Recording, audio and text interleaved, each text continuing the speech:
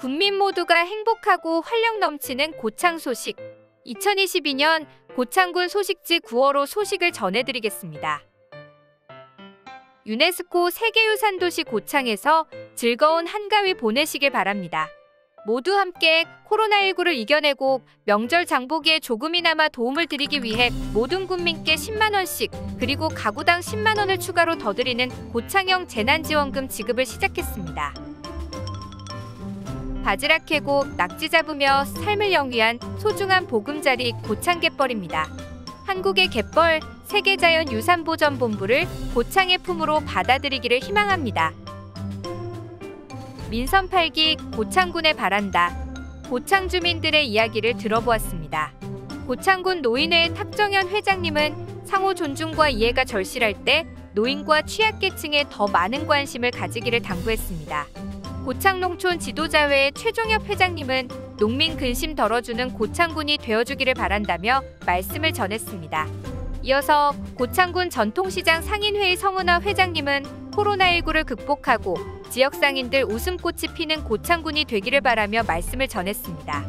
고창 청년 벤처스의 한선홍 회장님은 젊은이들이 마음껏 꿈 펼치는 고창군이 만들어지기를 기대했습니다. 전 국민 재난지원금이 지급됩니다. 제3차 재난지원금은 8월 22일부터 국민 1인당 10만 원이 지급되고 1가구당 10만 원을 추가로 받게 됩니다. 고창군은 어려운 국민들의 삶을 살리는 일에 우선순위를 두기 위해서 1호 결제로 전 국민 재난지원급 지급을 결정했다고 밝혔습니다. 깨끗한 고품질 전기 에너지로 만드는 편리하고 행복한 우리의 미래에 대한 소식입니다.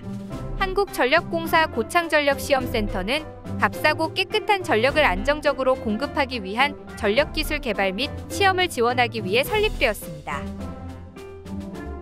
전라북도 민간정원 1호 꽃객 프로젝트입니다. 새하얀 메밀꽃과 함께 가을의 꽃으로 핑크뮬리가 떠오르고 있습니다. 고창군 부안면 복분자로에서는 핑크뮬리가 가득한 고창 핑크뮬리 축제가 진행되고 있습니다. 디자인, 맛, 향까지 수박 그 자체인 빵이 있다면 믿어지시나요? 고창 수박빵이 뜨고 있습니다. 고창 수박빵 임득선 대표는 3년간의 연구 개발 끝에 고창 수박빵을 완성할 수 있었다며 MZ세대들이 선호하는 다양한 캐릭터 제품으로 전통주, 아이스크림, 음료, 카라멜, 초콜릿 등을 만들어 지역 경제에 도움이 되고 싶다는 포부를 밝혔습니다. 실과 바늘, 그리고 천이 만나 부리는 마법이 있습니다. 한 땀 한 땀 자수의 길이 무려 50년 고창자수 지킴이 박미의 대표를 만나봤습니다. 박미의 선생은 최근에 전라북도 무형문화재 자수장 보유자로 지정되었습니다.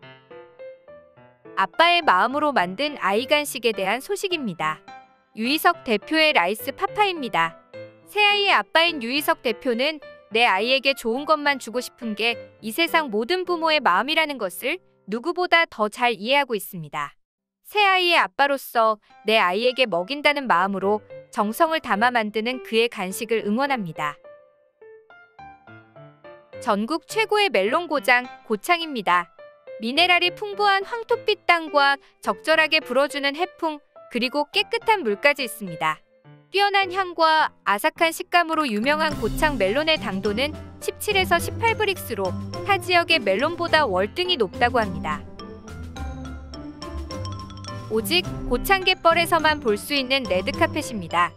유네스코 세계자연유산에 등재된 고창갯벌에는 요즘 붉은 양탄자를 깔아놓은 듯 곳곳에 붉은 함초가 바닷가를 화려하게 수놓고 있습니다. 고창군의회 의장 인사말을 전해드립니다. 존경하는 국민 여러분. 연일 계속되던 무더위도 어느덧 지나가고 풍성한 결실의 계절이 성큼 다가왔습니다. 국민과 소통하며 화합하는 열린의회라는 슬로건으로 국민의 행복을 위해 일하는 의회, 존경과 신뢰로 국민과 함께하는 의회가 되도록 제9대 고창군 의회는 국민의 고충과 현장의 생생한 목소리를 귀담아 의정 활동을 실천하겠습니다. 또한 더 낮은 자세로 국민과 함께하고 소통하는 현장 중심의 의회 구현을 통해 지역 발전과 국민의 삶의 질 향상을 위해 최선을 다하겠습니다. 읍면 지역사회 보장협의체의 다양한 활동들을 소개해드립니다. 고창읍 지사협에서는 건강한 여름나기 사랑의 꾸러미를 전달했습니다. 고수면 지사협에서는 행복한 방문, 신나는 우리 마을 특화 사업을 진행 중입니다. 아산면 지사협에서는 햇살 좋은 빨래터 운영을 개시했습니다. 무장면 지사협에서는 건강한 여름나기 음식 나눔 행사를 추진하고 있습니다. 이어서 공읍면 지사협에서는 거동불편 어르신 보행보조기 지원 사업을 추진 중에 있습니다. 상하면 지사협에서는 중복맞이 삼계탕 나눔 봉사를 실시했습니다. 해리면 지사협에서는 여름이불 나눔에 나섰으며 성송면 지사협에서는 취약계층의 도배, 장판 봉사활동을 진행했습니다. 대산면 지사협에서는 복날맞이 취약계층 영양드림 사업을 추진 중이며 심원면 지사협에서는 태양광 보안 등 설치를 완료했습니다. 흥덕면 지사협에서는 전북 119 안전체험관 교육을 진행했으며 성내면 지사협은 고창군 자원봉사센터와 함께 칠성마을 이동세탁 봉사를 진행했습니다. 대산면 지사협에서 복날맞이 취약계층 영양드림 사업을 추진했습니다.